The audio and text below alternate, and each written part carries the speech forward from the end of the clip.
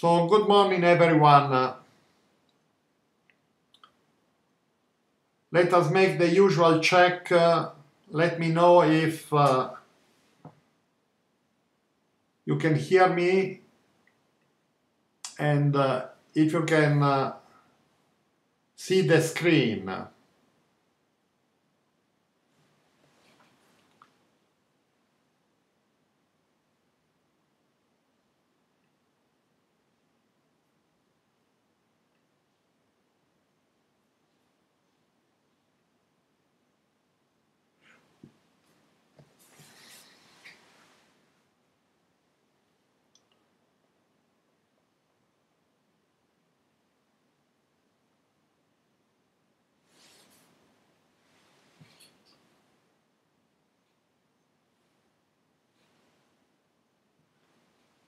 Okay, and uh, what about uh, the video quality? Because I had to reduce, uh, I had some problems earlier and I had to reduce uh, to the minimum the video quality in order to avoid uh, crashing uh, of the live stream.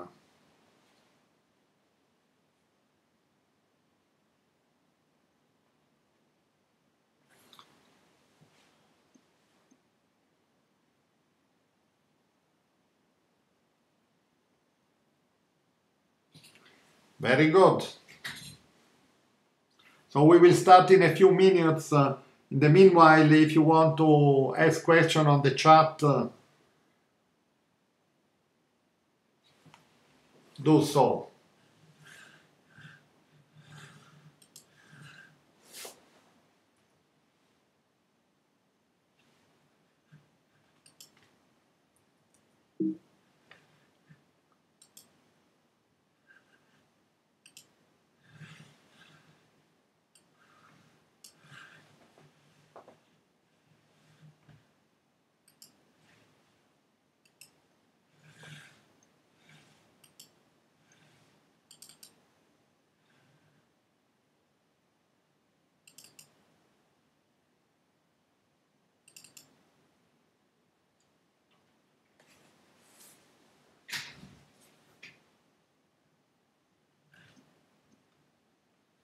Yes, please go ahead uh, with the question.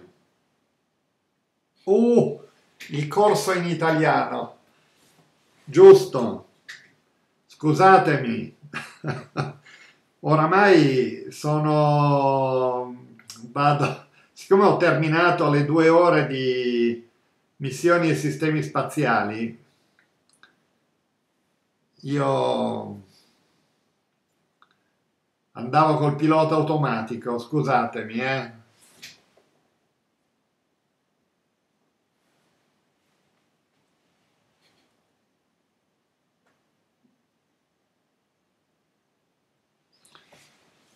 Allora, c'è un vostro collega che dice che nella lezione scorsa, quando facciamo l'integrale per calcolarci il tempo di discesa, c'è un segno che non torna.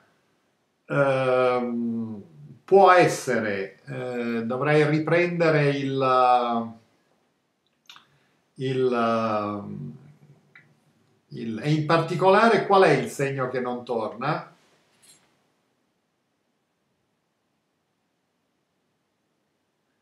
Eh, dipende, tutto sta a come si prende il dz.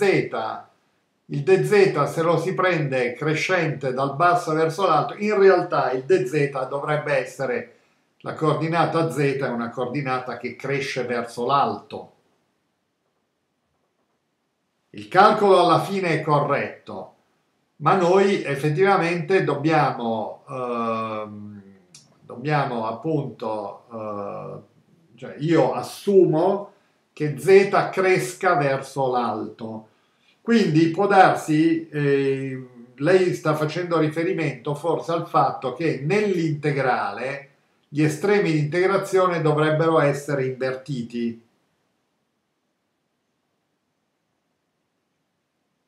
Sì, sì, il calcolo alla fine è corretto. Guardate, riguarderò un pochino meglio uh, l'esercizio e può darsi che abbiate ragione voi che io abbia eh, nel calcolo preso dz in senso opposto, cioè partendo dal momento in cui si apre il paracadute verso il basso, e non dovrebbe essere perché io ho sempre usato l'altra convenzione, ci darò un'occhiata e vi farò sapere.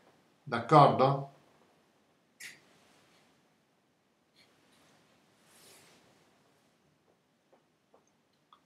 Altre domande?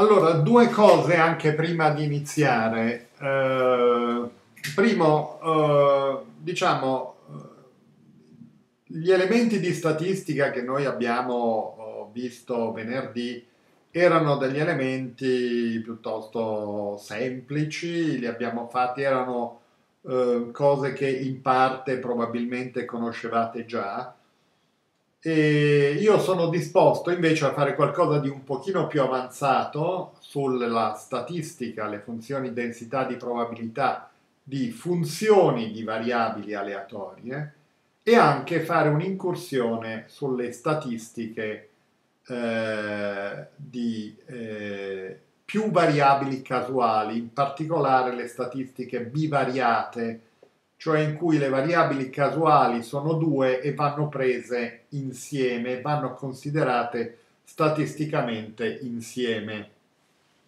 Per esempio, tanto per darvi un'idea, peso e altezza degli studenti di una classe. Quindi introdurre il concetto di coefficiente di correlazione, di matrice di correlazione e di covarianza che sono concetti che poi sono utili anche in futuro in, uh, in altri corsi, soprattutto nel corso di uh, missioni e sistemi spaziali. Quindi fatemi sapere se c'è qualcuno interessato, io lo faccio volentieri, dedico un'altra ora e mezza anche a questo e quindi uh, fatemelo sapere in ogni caso. Altra cosa, io vi avevo accennato alla dinamica dell'atmosfera, o, che è una, diciamo, sono argomenti di interesse prevalentemente aeronautico. Quindi eh, volevo sapere eh, se ci fossero tra voi persone interessate. L'anno scorso, per esempio, mi era stato richiesto e diciamo che mettiamo una soglia se ci sono 20 persone che vogliono che io tratti quell'argomento perché magari sono interessate per conto loro oppure perché sono, hanno intenzione di fare aeronautica alla magistrale, io, eh, io le faccio, eh, credo che mi ci vorrà un'oretta, un'oretta e mezza, un'oretta, un'oretta e mezza forse, qualcosa di questo genere, vediamo. Una lezione e mezza. Quindi fatemelo sapere, se ci sono 20 richieste io, uh, io, lo, io lo tratto, d'accordo? Ricordatevi che voi, è inutile che ve lo dica, voi avete scelto uno dei corsi di laurea più Uh, eh, vedo, a me interesserebbe, sì, però fate, diciamo, lei si prenda, uh, lei è Angela Raffaele, provi a sentire se ci sono anche altri suoi compagni in numero sufficiente, no? E poi lei mi scrive, mi manda una mail, sì, siamo 20, eccetera eh, e allora io lo faccio, d'accordo? Quindi eh, aspetto una mail da voi la, possibilmente entro oggi, possibilmente entro oggi. Allora, eh, oggi eh, introduciamo un altro, eh, un altro ambiente spaziale, l'ambiente ionosferico. Allora, che cos'è una ionosfera? Una ionosfera è uno strato di plasma che circonda ogni pianeta che è dotato di una atmosfera. Quindi una ionosfera eh, in un certo senso può essere considerata come figlia di un'atmosfera. Non può esserci una ionosfera se non c'è anche un'atmosfera, se non ci sono delle molecole o degli atomi neutri. Perché? Perché questi atomi neutri devono essere ionizzati. E il termine iono proprio significa questo, ionizzazione. Eh, quindi generiamo degli ioni e degli elettroni. Allora, le ionosfere sono generate, anzi fatemi mettere eh, prima proprio la pagina di introduzione, no? Quindi abbiamo la generazione, e fatemi prendere anche il puntatore laser. Le ionosfere sono generate da ionizzazione di eh, atomi o molecole neutre, prevalentemente atomi. Quindi sono figlie di, delle, delle atmosfere, come abbiamo detto. Che cos'è che ionizza, che può ionizzare un, uh, un atomo o una molecola? Beh, abbiamo bisogno di eh, particelle, e con particelle intendo anche fotoni, di energia sufficientemente elevata. Nel caso della, delle ionosfere planetarie nel Sistema Solare, la principale fonte di ionizzazione sono gli ultravioletti solari, ma anche i raggi X che vengono emessi dal Sole oppure i raggi cosmici che provengono dal resto della galassia possono ionizzare una particella. Quindi immaginate per esempio un atomo di eh, ossigeno, d'accordo?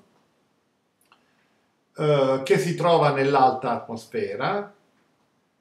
Se su questo atomo di ossigeno arriva un fotone ultravioletto, questo fotone eh, può ionizzare, estrarre un elettrone, quindi all'atomo di ossigeno, e generare una coppia ione-elettrone. Siccome eh, in fondo sono gli ultravioletti solari a generare questa uh, ionizzazione, è chiaro che eh, deve esserci un forte effetto giorno-notte. Di notte la ionizzazione non esiste, non c'è perché naturalmente non esistono i fotoni ionizzanti, gli ultravioletti e quindi ci aspettiamo un minimo della densità ionosferica, della densità di particelle cariche, attorno uh, alla mezzanotte o giù di lì. In realtà il minimo è poco prima dell'alba, ne parleremo più avanti, è poco prima dell'alba. Mentre noi ci aspettiamo un massimo della densità di plasma attorno al mezzogiorno locale. D'accordo? Quindi abbiamo questi due estremi. Perché separare la ionosfera dall'atmosfera? In fondo la densità ionosferica generalmente è notevolmente più bassa della densità atmosferica alla stessa quota. Pensate che nel caso della Terra soltanto l'1% degli atomi di ossigeno sono ionizzati quindi sono molto meno. Allora uno potrebbe chiedersi ma per quale ragione preoccuparsi della ionosfera? Beh, perché la ionosfera è soggetta a processi dinamici che sono molto diversi da quelli di un'atmosfera. E provate a pensare a questi due eh, fatti. Primo, una particella ionizzata o un elettrone sente il campo magnetico terrestre, mentre la, uh, l'atomo neutro non lo sente, quindi sente delle forze magnetiche. Secondo, due particelle cariche si sentono l'una con l'altra a grande distanza, distanza molto grande mentre due atomi neutri per sentirsi, tra virgolette, devono collidere, devono toccarsi, mentre appunto due particelle cariche si sentono anche a grande distanza tra, tra di loro. Quindi ci sono uh, questi aspetti che rendono uh, le proprietà dinamiche di una ionosfera completamente diverse da quelle di una atmosfera. Tra l'altro, eh, per funzionare i fili conduttori, no, di cui abbiamo parlato all'inizio del corso, hanno bisogno di una ionosfera e in un certo senso possono essere utilizzati, i fili conduttori, eh, possono essere utilizzati soltanto perché attorno alla Terra c'è una consistente ionosfera, ma la ionosfera è presente su Venere, è presente su Marte, è presente su Giove e ha importanti influenze eh, sulle missioni spaziali, per non parlare del caso del, dei sistemi di posizionamento globale come GPS. Perché? Perché la ionosfera causa dei ritardi nella propagazione eh, dei segnali eh, che portano, se non tenuti sotto controllo, portano a, dei, eh, a degli errori di posizionamento. Teniamo conto che le ionosfere interagiscono con i satelliti, però interagiscono in maniera piuttosto benigna, perché sono molto tenui. Non solo, ma anche la loro uh, energia, l'energia delle particelle ionizzate, è un'energia molto piccola, bassa, corrisponde a temperature di circa 1000-2000 gradi. In realtà vedremo che nello spazio le temperature non si misurano mai in gradi, ma si misurano in una quantità che viene chiamata electron volt. E eh, introdurremo adesso questa quantità. Mi piacerebbe avere la mia bella tavoletta che ho ordinato per poter scrivere e invece sarò costretto ancora a scrivere con, con, uh, il, con la penna eh, e quindi penna che prendo immediatamente. Allora, una ionosfera è il frutto di due processi che devono essere in equilibrio. Il primo processo, che è quello che vedete più in alto, questo, si chiama processo di ionizzazione. Il secondo processo, questo in basso, si chiama processo di ricombinazione. Nel primo processo, da una molecola o un atomo neutro più un fotone sufficientemente energetico, l'ho indicato con HNI. HNI è l'energia di un fotone, Ni è la frequenza, H è la costante di Planck. Ditemi se mm, diciamo la costante di Planck la conoscete, sono sicuro in caso contrario ditemelo. Quindi quella è l'energia del fotone, l'abbiamo vista anche quando abbiamo calcolato, se vi ricordate, la pressione di radiazione solare, no? Allora, da questo processo di ionizzazione viene generato uno ione e un elettrone. Il processo inverso invece porta eh, diciamo alla ricombinazione di uno ione e di un elettrone con la produzione di un'atmosfera, una molecola o un atomo neutro e un fotone. Il fotone è questo qui, H.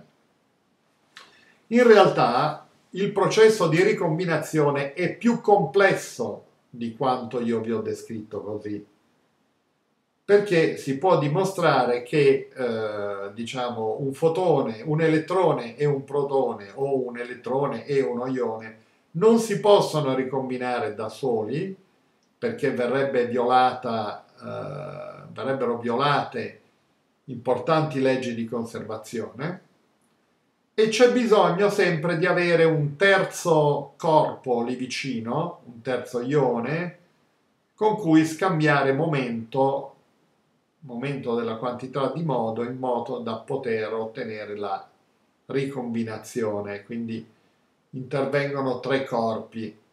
È una complicazione che noi butteremo sotto il tappeto D'accordo? Vedremo un modello semplificato, non completamente corretto purtroppo. Allora, il processo di ionizzazione è un processo a soglia, ok? Un processo a soglia. Voi forse avrete sentito parlare dell'effetto fotoelettrico. L'effetto fotoelettrico fu uno degli, eh, di quei risultati sperimentali che eh, fecero capire che la fisica classica era inadeguata nel descrivere i fenomeni della natura. E eh, secondo la fisica classica, eh, no, per esempio, se noi abbiamo un metallo, lo irradiamo di radiazione elettromagnetica di qualsiasi frequenza e questi fotoni che arrivano sul metallo poi eh, dovrebbero avere energia in ogni caso sufficiente ad estrarre degli elettroni. E invece questo non succede affatto.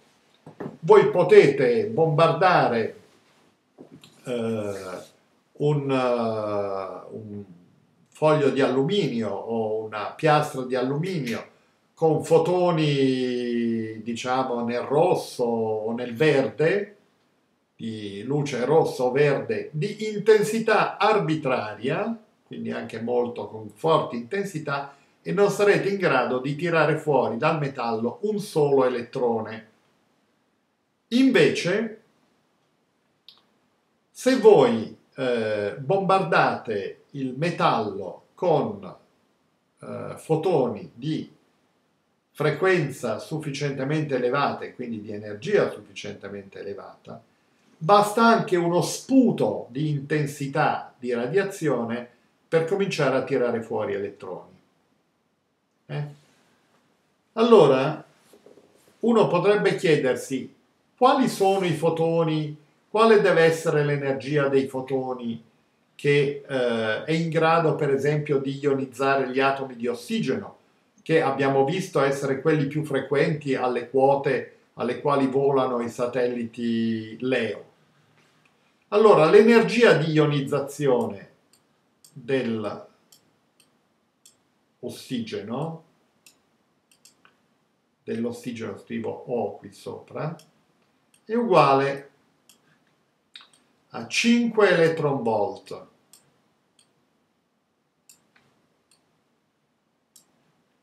Che cos'è un electron volt?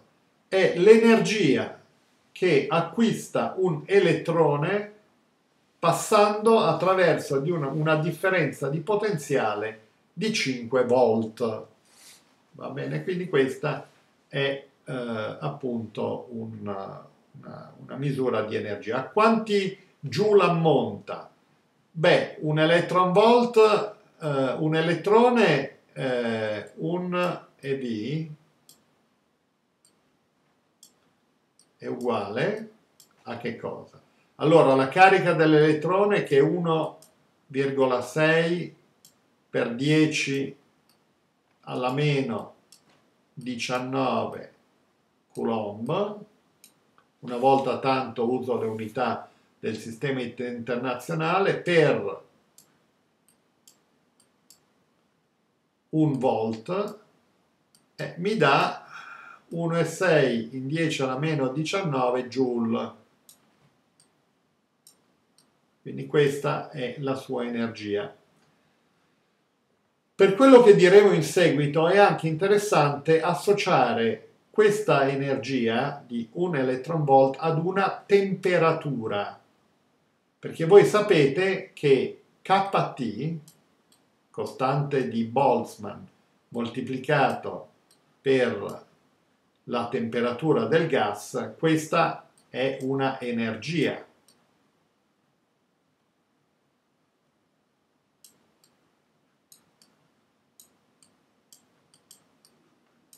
Sono diventato anche relativamente bravo a scrivere con il mouse. Allora, a quanti, qual è la temperatura alla quale corrisponde un electron volt? Se io uguagliassi, scrivessi qui 1.6 per 10 alla meno 19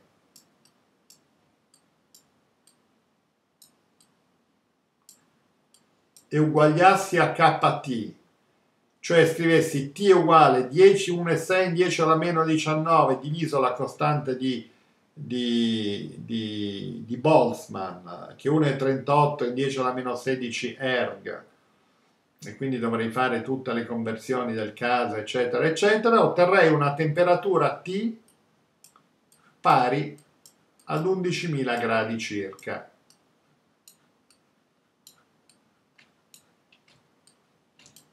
Gradi Kelvin. Ok? Quindi un electron volt corrisponde ad 11.000 gradi. Questo giusto per darvi un'idea, nello spazio uh, chi si occupa appunto di ambiente spaziale, di interazioni tra l'ambiente e i satelliti, non usa mai le, le temperature. Le temperature le esprime sempre in electron volt. Va bene? Quindi, per esempio, Uh, abbiamo detto che la temperatura delle particelle della ionosfera era 1000-2000 gradi, sono 0,1-0,2 electron volt. D'accordo? E quindi questa è una cosa, che è una cosa utile. Torniamo ai nostri 5 electron volt che stanno qui, no? Quindi questa è l'energia di ionizzazione. E vogliamo chiederci, uh, ma qual è la lunghezza d'onda uh, di, della radiazione elettromagnetica che ha un'energia pari a 5 electron volt? Allora noi dovremmo semplicemente scrivere E I che è 5 electron volt 0 uguale ad H, costante di Planck, per μ la frequenza, ma vogliamo farlo invece in lunghezza d'onda, c diviso lambda. Ok? Quindi lambda, e chiamiamola lambda I, lambda di ionizzazione, accidenti, quindi lambda i è uguale ad hc diviso energia di ionizzazione dell'ossigeno. Allora, potremmo fare questo conto mettendo appunto qui 5 electron volt che sono 5 per 10 alla meno 6 eh, in 10 alla meno 19 joule.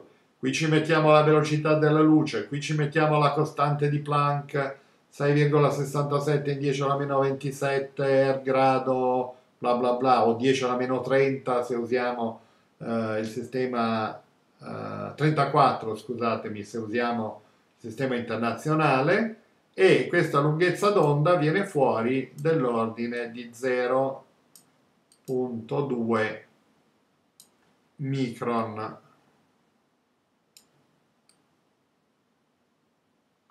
Ok? Quindi sono raggi ultravioletti dell'ultravioletto abbastanza vicino. D'accordo? Quindi vediamo che l'ossigeno, che è eh, tra le specie chimiche presenti nell'atmosfera, nell'alta atmosfera terrestre, quella che ha il più basso potenziale di ionizzazione, viene tranquillamente ionizzata dai molti ultravioletti eh, solari che arrivano e gli ultravioletti solari sono effettivamente la principale sorgente di eh, ionizzazione. Se noi avessimo fatto lo stesso conto con eh, l'idrogeno e ci chiedessimo, quindi qui invece che mettere, che mettere prendo un puntatore laser, invece che mettere l'energia di ionizzazione dell'ossigeno 5 electron volt avessimo messo quella dell'idrogeno che è 13,4 electron volt e avremmo ottenuto una lunghezza d'onda notevolmente più piccola, inferiore a 0,1 a 0,1 uh, micron e naturalmente ci sono molti meno fotoni di quella lunghezza d'onda di quanti eh, ce ne siano appunto a 0,2 micron. D'accordo? Quindi è più difficile ionizzare l'idrogeno di quanto non lo sia l'ossigeno. Allora, vediamo di riprendere però un momentino uh, queste equazioni di equilibrio e di riscriverle. Allora, all'equilibrio abbiamo due fenomeni Il fenomeno di ionizzazione, che è questo, descritto da questo termine, e come lo scriviamo? Allora, chiediamoci quante particelle ionizzate produciamo per unità di volume per unità di tempo. Allora, questa quantità sarà proporzionale al flusso di eh, fotoni ionizzanti sarà proporzionale alla densità dei bersagli, cioè delle particelle che possono essere ionizzate, e questa costante di proporzionalità che chiamiamo sigma i si chiama sezione d'urto di ionizzazione, che ha le dimensioni di un'area e di fatto eh, ha un'area che è molto vicina alla, alla sezione d'urto classica eh, di eh, un atomo. Un atomo ha dimensioni, eh, un atomo di idrogeno ha dimensioni, ha un raggio classico di 10 alla meno 8 centimetri. Uh, no, quindi Ehm, quindi eh, qui abbiamo un'area di circa 10 alla meno 16, questo qui sono 10 alla meno 16, d'accordo? Questa equazione che cosa ci dice? No? Ci dice sostanzialmente che il... Eh, potete considerarla in questo modo. Supponete di andare ad un tiro a segno, anzi ad una, ad una festa di paese. No? Voi avete un, un fucile che spara a ripetizione, questi sono i fotoni ultravioletti, e avete un certo insieme di bersagli che sono tanti palloncini. La quantità di palloncini che voi riuscite a sgonfiare e quindi la quantità di, eh, di ioni ed elettroni che producete sarà proporzionale alla eh, quantità di eh, proiettili che voi sparate per unità di tempo, per unità di area e proporzionale alla densità dei bersagli ovviamente.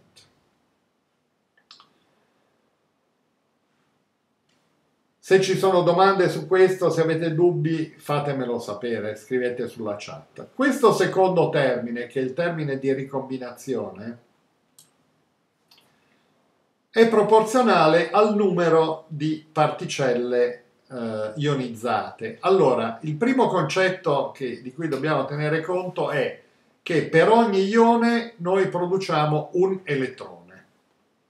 Quindi ioni ed elettroni vengono prodotti a coppie. E qui io avrei dovuto scrivere di fatto quel prodotto come un prodotto tra N più densità di ioni e N meno densità di elettroni. Ma siccome questi due sono uguali, scrivo semplicemente N quadro. è abbastanza eh, ragionevole no? che eh, la probabilità di eh, ottenere un processo di ricombinazione sia proporzionale alla densità delle particelle cariche positivamente e alla densità di particelle cariche negativamente. Di qui il valore n quadro, questa proporzionalità con n quadro. La costante di proporzionalità alfa si chiama eh, costante di ricombinazione e quindi nella nostra schematizzazione molto molto semplice, ora rispondo anche alla chat, nella nostra schematizzazione molto semplice in cui il processo di ricombinazione non richiede la presenza di un terzo corpo, che avevo menzionato prima, otteniamo questa semplice legge di equilibrio. Allora, nella chat eh, mi si chiede correttamente che differenza c'è tra n piccolo ed n grande? Allora, n grande è la densità di particelle neutre, quelle che devono essere ionizzate una volta che sono bombardate dai fotoni ultravioletti o da altra radiazione ionizzante. Con n piccolo invece io ho indicato la densità di particelle cariche, ioni o elettroni. E qui al primo membro ho scritto la derivata temporale di questa densità che dipende dallo sbilanciamento tra questi due termini, il termine di produzione di ioni ed elettroni e il termine di pozzo, il termine di ricombinazione di ioni ed elettroni. D'accordo? Quindi questa è l'equazione di equilibrio che noi andiamo a considerare. Quindi ho risposto alla domanda che era stata posta nella chat, n grande densità dei neutri, n piccolo densità delle particelle cariche e la densità di ioni è uguale alla densità di elettroni. Attendo da Marco Pellegrini conferma sulla chat. Intanto vado avanti. Vedete anche scritto anche qui n, capital N, is the number density of the targets, the neutrals. Adesso all'equilibrio dn su dt uguale 0. No? I processi di produzione e di ricombinazione si equilibrano. E quindi se mettiamo a 0 questa derivata, possiamo immediatamente ricavare il rapporto n su n piccolo su n grande, cioè il rapporto tra particelle ionizzate e particelle eh, neutre, che si chiama anche rapporto di ionizzazione, che è dato da questa legge φ sigma su alfa n grande sotto radice quadrata. Se noi vogliamo avere eh, naturalmente il, la densità assoluta di particelle neutre, portiamo questo n piccolo dall'altro lato, lo mettiamo sotto radice quadrata e otterremo φ sigma n diviso alfa. Ok? Quindi Eh, questo è quello che succede all'equilibrio.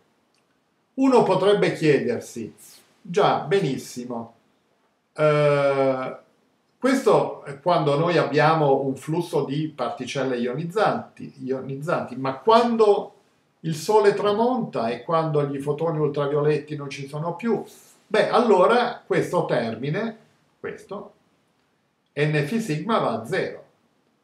E rimane eh, l'equazione differenziale diventa dn su dt uguale a meno alfa n quadro questa equazione differenziale si può risolvere e ci farebbe vedere che con il valore di alfa, alfa è un coefficiente piuttosto piccolo, in realtà la densità ionosferica decresce piuttosto lentamente nel tempo. Non va a zero immediatamente. Perché? Perché il processo di ricombinazione è un processo difficile da ottenere. Quindi dopo il tramonto la densità ionosferica cala e raggiunge il minimo poco prima dell'alba. Poco prima dell'alba. Diminuisce di un fattore 10-20 rispetto al picco, ma non è che le particelle ionizzate scompaiono. Allora, la percentuale di ionizzazione è generalmente piuttosto piccola nelle atmosfere planetarie, dipende dalla quota nella quale ci troviamo, 10 alla meno 5, 10 alla meno 3, va bene? Una cosa però importante è queste densità noi non le troviamo certo qui al suolo, le troviamo soltanto in quota, infatti la ionosfera è confinata ad uno strato sopra le nostre teste a quote piuttosto elevate, di diciamo 200 km, 300 km, dai 200 km in su. Non ci sono, uh, qui noi al, al suolo non abbiamo particelle ionizzate. La ragione è piuttosto semplice, che tutti i fotoni ultravioletti che potevano ionizzare eh, le particelle sono stati assorbiti. E quindi le ionosfere dobbiamo, le troviamo necessariamente a quote elevate. E adesso noi quantificheremo, in questi ultimi dieci minuti, quantificheremo un po' meglio uh, tutti questi concetti e introdurremo in particolare il concetto di strato di Chapman, di Chapman. Chapman fu il primo a predire, eh, a spiegare l'esistenza di una, eh, la ragione per la quale era presente una ionosfera. Aveva bisogno della meccanica quantistica, ovviamente, la spiegò dopo la meccanica quantistica, ma eh, del fatto che ci fosse una ionosfera o uno strato conduttore, sopra le nostre teste, beh, questo era noto da molto tempo. Eh, face, facciamo riferimento agli esperimenti di Marconi, no? Marconi, eh, che fece il primo, dette, fece questo importantissimo esperimento di propagazione transoceanica di onde elettromagnetiche. Allora, le onde elettromagnetiche si sapeva che esistevano. Eh, Maxwell con il termine di spostamento aveva previsto l'esistenza di onde elettromagnetiche che furono poi brillantemente verificate, trovate con l'esperimento di Hertz. Ma Marconi voleva andare oltre, voleva giustamente usare queste onde elettromagnetiche che si propagavano alla velocità della luce, quindi ad altissima velocità, per trasmettere informazioni e voleva provare a trasmettere informazioni da un lato all'altro dell'Atlantico. Ora, eh, tutti quanti dissero a Marconi, guarda che eh, le onde elettromagnetiche si propagano in linea retta, quindi tu, uh, se vuoi trasmettere dall'altra parte dell'Atlantico, devi attraversare la Terra. E la Terra è un attenuatore formidabile, quindi sarà molto difficile, sarà impossibile che tu dall'altra parte dell'Atlantico eh, riesca a eh, avere una quantità di radiazione sufficiente da essere rivelata, perché sarà stata tutta attenuata. Ma Marconi, no, come spesso, spesse volte bisogna, eh, bisogna sempre presumere che si sa meno di quello di quanto si sappia veramente. Gli argomenti dei fisici dell'epoca erano molto stringenti, molto forti, no? Ma Marconi fece l'esperimento lo stesso ed ebbe un grande successo. E ciò creò uno stupore enorme nella comunità scientifica. E la ragione per la quale l'esperimento di Marconi ebbe successo sta proprio nella presenza della ionosfera, uno strato di particelle cariche che è in grado di riflettere la radiazione a bassa frequenza che aveva usato Marconi. Quindi le onde elettromagnetiche non si erano propagate attraverso la Terra, ma erano andate verso lo spazio, avevano rimbalzato più volte e poi erano arrivate alla stazione ricevente. D'accordo? E quindi questo è un fatto. La ionosfera, dell'esistenza della ionosfera si sapeva ancora prima che Chapman ne, ne facesse eh, la sua teoria. Allora, vediamo un poco come funziona quantitativamente, vediamo anche che ore sono. sono. Mancano 5 minuti soltanto. Introduciamo proprio questo concetto fondamentale. Allora, supponiamo di avere uno strato φ, scusatemi, un flusso φ di fotoni ionizzanti che eh, attraversa uno strato dz dell'atmosfera neutra terrestre. Chiamiamo questo angolo di incidenza con chi, vedete, e chiamiamo con ds questa area, quest'area qui. Allora ci chiediamo di quanto è diminuito il flusso di fotoni ionizzanti attraverso una volta che attraversa questo strato di spessore dz allora qui avremo se qui abbiamo un flusso φ qui avremo un flusso φ più dφ naturalmente questo dφ sarà negativo e a che cosa sarà uguale questo dφ? beh abbiamo detto no vediamo quanti fotoni sono stati assorbiti se abbiamo una densità n, no? dobbiamo uh, considerare la densità di particelle neutre, di bersagli, la loro area efficace sigma, la sezione d'urto, e il flusso verrà diminuito di che fattore? Vabbè, questa quantità dφ, la variazione di flusso, sarà proporzionale al flusso stesso, quindi maggiore il flusso, maggiore sarà la diminuzione, sarà proporzionale alla densità di particelle neutre, cioè dei bersagli che possono essere colpiti, sarà proporzionale alla loro sezione d'urto, alla loro area,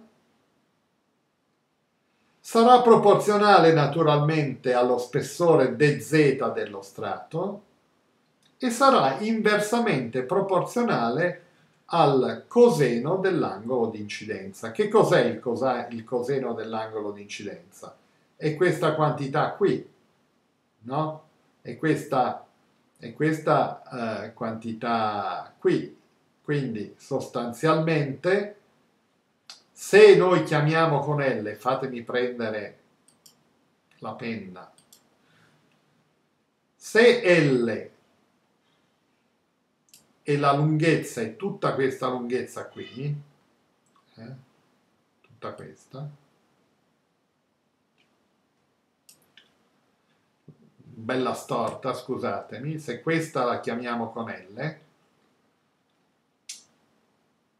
naturalmente l'assorbimento di fotoni sarà proporzionale alla lunghezza che eh, viene percorsa nello strato.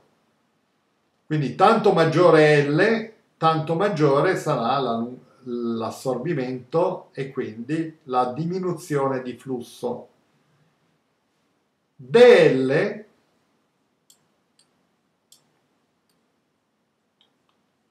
non è altro che dz diviso il coseno dell'angolo chi eh, di quell'angolo lì. Quindi noi al posto di del mettiamo semplicemente dz diviso coseno di chi.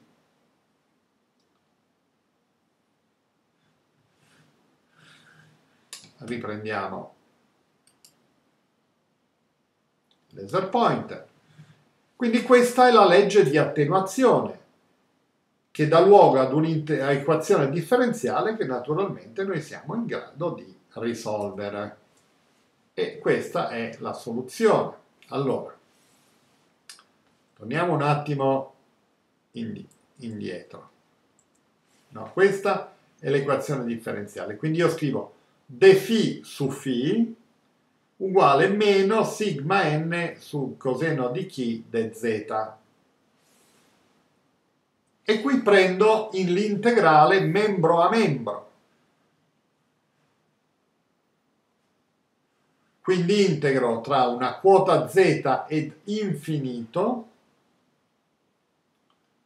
per vedere qual è stata l'attenuazione complessiva rispetto al flusso imperturbato che ho negli strati alti dell'atmosfera e dall'altra parte devo integrare tutto quello che c'è ed in particolare devo tenere conto del fatto che la densità di particelle neutre, indicata con n di z, non è costante, ma varia anche lei con la quota e anche lei la devo integrare tra z ed infinito, l'estremità superiore.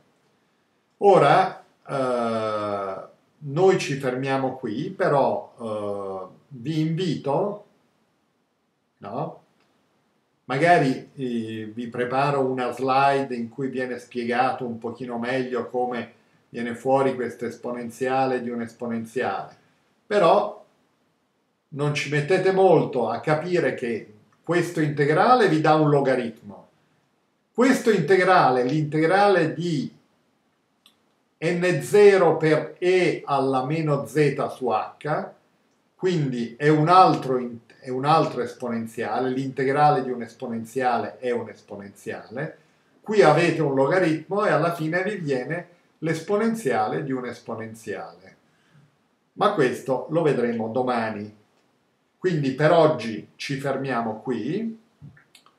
Uh, fatemi sapere naturalmente se eh, aspetto da voi appunto ehm,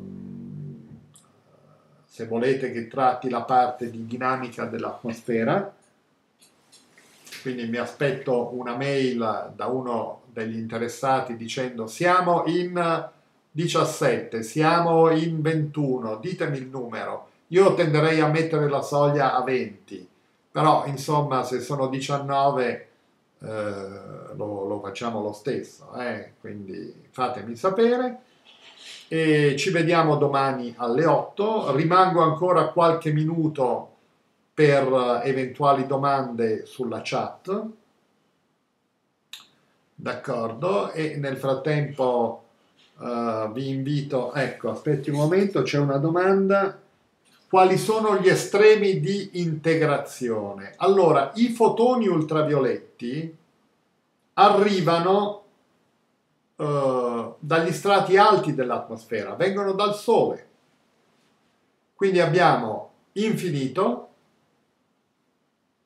no? dove non c'è atmosfera di fatto, e la quota z alla quale noi vogliamo calcolare il flusso. Noi vogliamo il flusso in funzione della quota z. Ok? Quindi gli estremi di integrazione sono z ed infinito, perché i fotoni vengono dall'alto, vengono da z uguale infinito.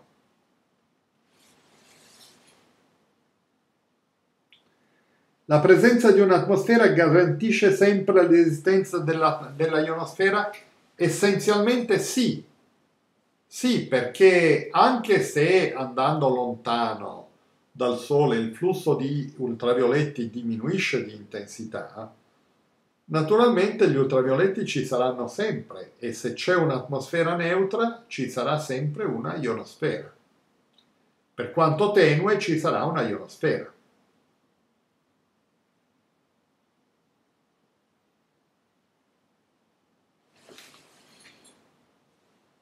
Ma l'homework a cui si fa riferimento sul sito riguarda il nostro corso? No, riguarda il corso di eh, missioni e sistemi spaziali, non voi. Non, eh, stavo pensando ad introdurre degli homework anche per voi, eh, per voi di ambiente, ma eh, probabilmente se decido di andare in quella direzione lo farò l'anno prossimo in effetti non l'avevo scritto nelle modalità di esame. Quindi se c'è stata ambiguità correggerò il sito. Quale sarebbe il tema della lezione che sta cercando di organizzare? Ho perso proprio quei 5 minuti di live. Dinamica dell'atmosfera, cicloni e anticicloni.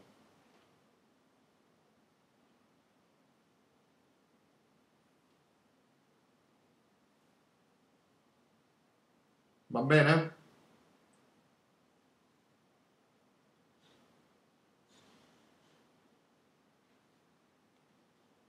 Ok, se non ci sono altre domande, eh, finiamo qui, ci, ci vediamo domani e mi raccomando, spero che siate tutti in, in buona salute non sottovalutate minimamente il, le circostanze, le circostanze sono serie, probabilmente le cose miglioreranno, eh, ma miglioreranno lentamente e comunque eh, ci terremo questo problema credo per parecchio tempo e sicuramente finiremo di certo finiremo il corso in questo modo online. Va bene? C'è altra, un'altra domanda. Sì, mi dica la torre.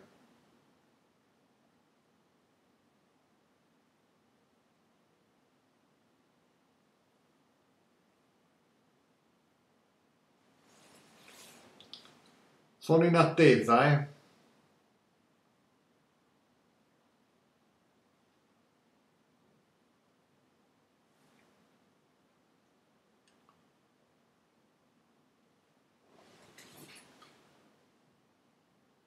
Ancora sull'esercizio del dimensionamento del paracadute, mi dica.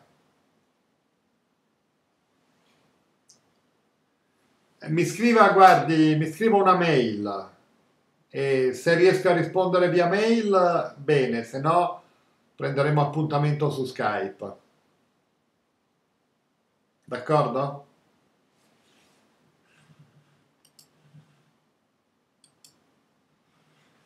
Va bene, allora a questo punto ci fermiamo qui, ringrazio tutti e ci vediamo domani. Arrivederci.